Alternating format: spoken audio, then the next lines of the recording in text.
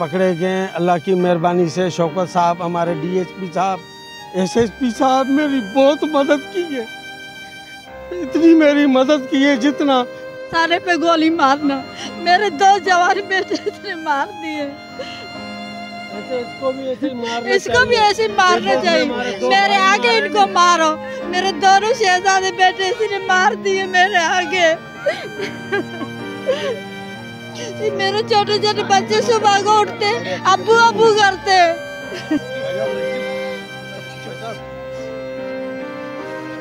इन्होंने हमारा जैसे हमारे जैसे हमारे अब्बू को इसने मारा वैसे इनको हमेला इलाका मकरानी पड़ा। आज ये मरुमान के जो वालिद और वालिद हैं हमारे साथ आए यहाँ पे थाना हाली रोड पे। एस एच ओ हाली रोड शोकत मलकानी और D S P Hali road.